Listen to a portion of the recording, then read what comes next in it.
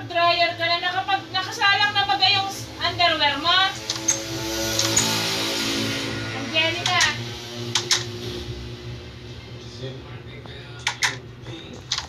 Angelica. Yan ang mga maling diskarte. Natutuyo na yan. Bago matapos yung pangalawang batch, natutuyo na yan. Hindi nyo nagagets yung ganon. Kasi di ba, dry